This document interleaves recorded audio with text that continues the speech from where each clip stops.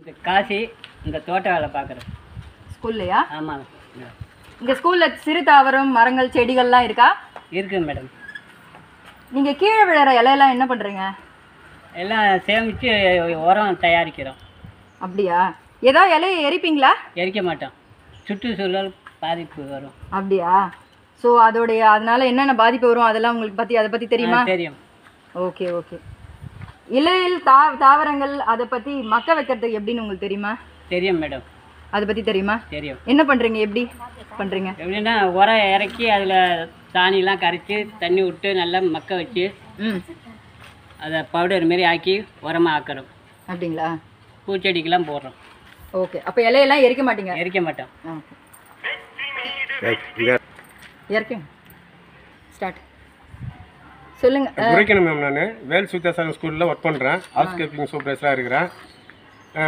School இங்க campus இலையெல்லாம் என்ன பண்றீங்க? ஸ்கூல் கேம்பஸுக்குள்ளே இருக்கிற இலைங்க எல்லாமே அது வந்து நாங்கள் எருவு மாதிரி உருவாக்குறோம். தழப்ப வந்து உரக்கிணறு இறக்கி உரக்கிணறுல வந்து அந்த எருவு சம்மந்தப்பட்ட அந்த தழைங்களை போட்டு அதுக்கு வந்து சாணி தெளிச்சு விட்டு தண்ணி தெளிச்சு விட்டு அது உரமாகிற மாதிரி ஆக்கி செடி மரம் கொடிங்களுக்கு எல்லாத்துக்கும் அந்த எருவை நாங்கள் யூஸ் பண்ணுறோம் குப்பைங்க வந்து ஏதோ ஒரு கேம்பஸ்குள்ளே எந்த குப்பையும் கொளுத்த மாட்டோம். கொளுத்துனாக்க அது?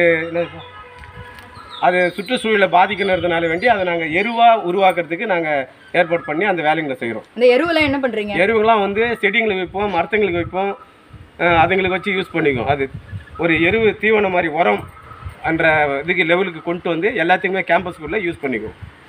ஓகே நன்றி. ரெடி. நீங்க என்ன பண்றீங்க இங்க? வேலை பார்க்குறோமா ஆ. டீ கொண்ட தமிழில் எடுத்து போய் சாணி வச்சுட்டு எரி எரி ஆக்கி செடிக்கு பண்ணி வைக்கிறோம் ஏதாவது எரிப்பீங்களா? பெருக்கிற இதெல்லாம்? எரிய மாட்டோம் வீடு சொல்ல பண்ண மாட்டோம் திரும்ப எடுத்து வந்து குப்பை தொட்டில் கொட்டி நாங்கள் எருவாக்கி மற்ற செடிகளை வைப்போம் நன்றி.